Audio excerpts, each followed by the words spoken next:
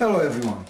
I will present you the HP exam HP0-J73 Foundation of the HP Storage Solution. Here are the basic exam details like the time allowed 105 minutes, the number of questions 64 with a multiple choice format and the minimum required passing score of 64%. Here are the main technical areas intended to be verified with this exam. First area, fundamental storage architecture and technology, covered by 24% from the total of the questions. The second one, HP storage product, solution and service offerings with 21% coverage.